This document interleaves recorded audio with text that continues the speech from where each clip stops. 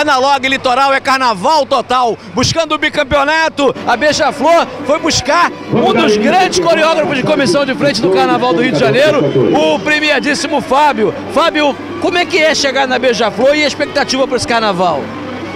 Chegar na Beija-Flor é impactante em todos os sentidos. A estrutura, a família, a mistura de carinho com profissionalismo.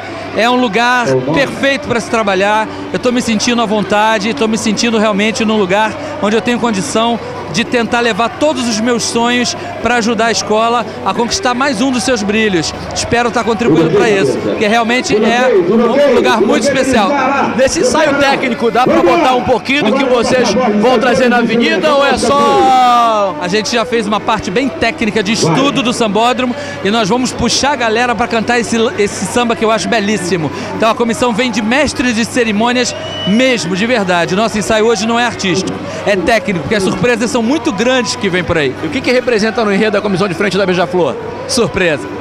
Mas tem a ver com uma grande homenagem ao povo de São Luís e de toda a terra maranhense. Tá certo, boa sorte ao Fábio Melo, que é um dos grandes coreógrafos do Carnaval do Rio de Janeiro e esse ano vem firme e forte para buscar o bicampeonato pela Beija-Flor de Nilópolis. Carnalog Litoral é carnaval total.